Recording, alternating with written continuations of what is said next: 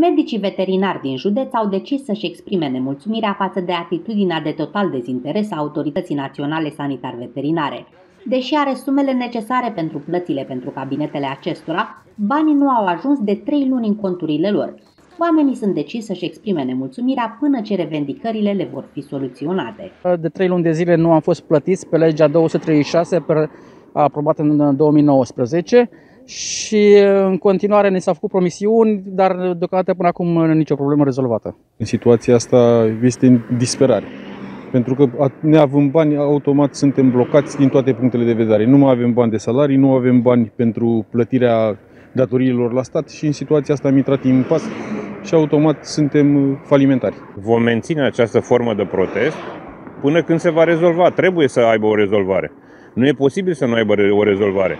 Legea e uh, dată din decembrie 2019, lege care uh, a emis efecte, au trecut și mama efectelor până în acest moment. Colegii din celelalte județe la fel au demarat mult mai devreme și sperăm și noi să fim la fel de unitari și să avem rezolvare. Bănuiesc că nu, nu stă o țară întreagă în două semnături ale unor doamne sau domni de la o contabilitate, nu? Pentru că există și alte foruri superioare și control. Există prim-ministru, există domnul ministru al agriculturii, deci care pot lua atitudine. Noi sperăm să fie bine.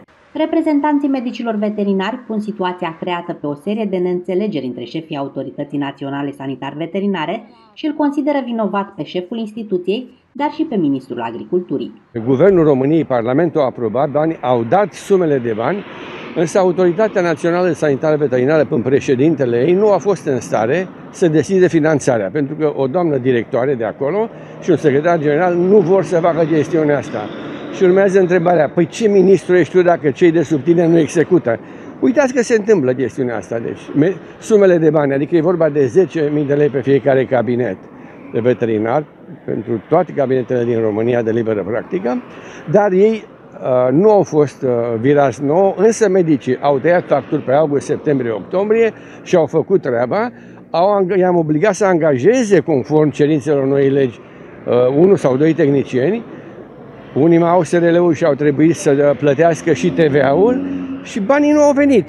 Sub diverse pretexte, că vin azi, că vin mâine, că vin poimine și nu, ceva se întâmplă.